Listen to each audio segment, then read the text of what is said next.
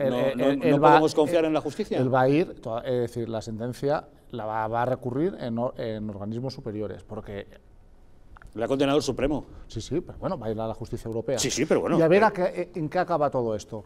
Porque a veces me da la sensación, y yo muchas veces estoy alejado de Podemos, pero que a veces se excede y se hacen ciertos montajes eh, para dañar la imagen de determinados partidos, Mm. que eso al final lo que contribuye es a dañar la democracia. Lo de Isa Serra también su Isa montaje. Serra, pues, ella lo ha explicado, ¿no? Eh, Condenada en primera instancia, condenada ratificada en segunda instancia. eh, participar en un desahucio.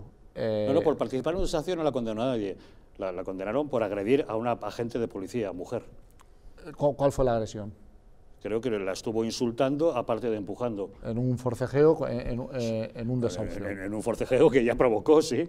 Y que ella ha negado los hechos y que en cualquier caso se ha retirado de la primera línea política. Bueno, bueno, ¿no? pero, pero la han condenado. Pero o bueno, sea, No se ha retirado porque acaba de ser colocada en el ministerio con Eh, un sueldazo. he dicho de la primera línea política. En cualquier Eso- caso. y eso no es primera línea política, en- en cualquier tener un caso. sueldo tan impresionante. En cualquier caso, eh, decir que Podemos está a favor de la violencia hacia los policías, o si alguien lo. Hombre, lo dijo Pablo Echenique cuando los disturbios por Pablo Hasél en Barcelona. ¿Se acuerda usted que aplaudía a los eh, violentos que atacaban a la policía? y en este mismo programa yo dije que eso que Podemos había realizado, aparte de ser un grave error político.